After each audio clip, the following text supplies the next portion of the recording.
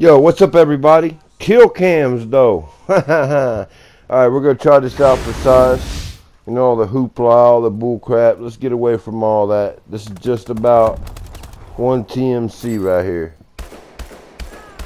Now, uh, check it out. On this episode, I'd like to say rest in peace. J-Dub 920 uh, died in a tragic accident while drinking and driving. Very sad. Um, I'd also say, like say, rest in peace, ASA Actual. Um, died of a brain aneurysm. Now, these two people were with the clan in the very beginning, very, very beginning, way back when even Mandir was a member of One TMC. Um, before a girl, you know, messed it all up for him. And it started with a chick, you know, Flower Girl, and uh, it was actually one of I Am Many's boys or whatever. It, it's kind of funny.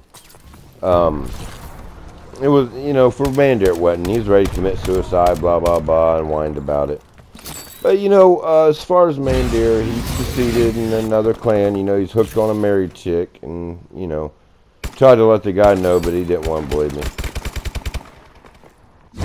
But uh, I even, uh, I, I'm just saying, I remember back when, you know, Mandir, Nuke It Up, uh, Fellatio, my God, there were just some names that go way back in the beginning.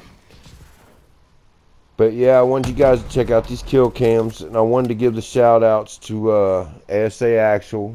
You know, he's also had a few other names. Kilroy was here, uh, Papa Turtle. There might be a few other names that he even had as well.